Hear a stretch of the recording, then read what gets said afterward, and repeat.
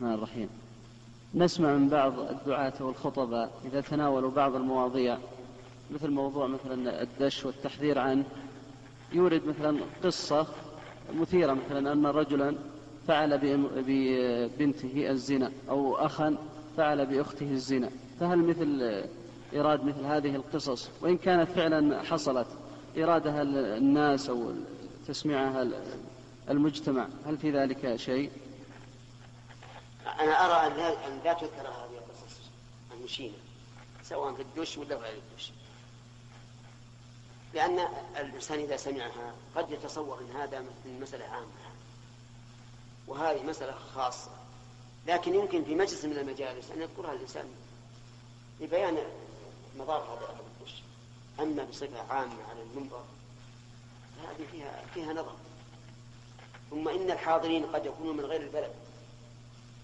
فيتصور واحد منهم أن هذا في البلد نفسه. ويحصل في هذا سوء سمعة.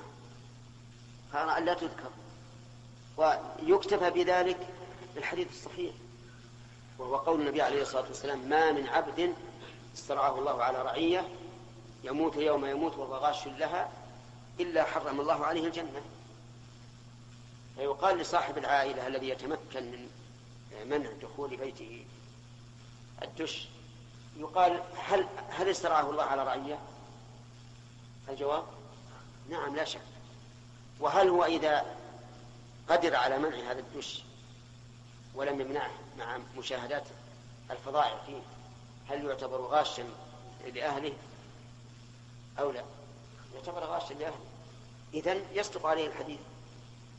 من مات يوم, يوم يموت من استرعاه ما من عبد استرعاه الله على, رعية يموت يوم يموت وهو غاش لها إلا حرم الله عليه الجنة. يدخل في هذا الحديث بلا شك. ولكن هل نشهد لهذا الرجل بعينه؟ هذا هو الممنوع. لأن نصوص الوعيد ما تطبق على كل شخص بعينه. كما أن نصوص الوعد لا تطبق على كل شخص بعينه. ألسنا نعلم أن من قتل في سبيل الله فهو شهيد؟ فلو قتل رجل في المعركة بين المسلمين والكفار هل نقول فلان شهيد بعينه لا ما نقول.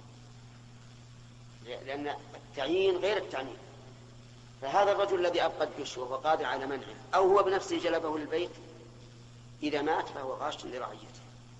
لا أحد يشكل عليه هذا الأمر. فيدخل في عموم الحديث.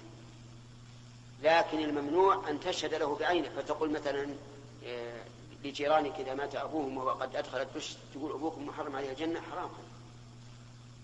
لأن العلماء يقولون من مذهب أهل السنة والجماعة أن لا نشهد لغيرنا لشخص معين بجنة ولا نار إلا لمن شهد له الرسول صلى الله عليه وسلم. نعم.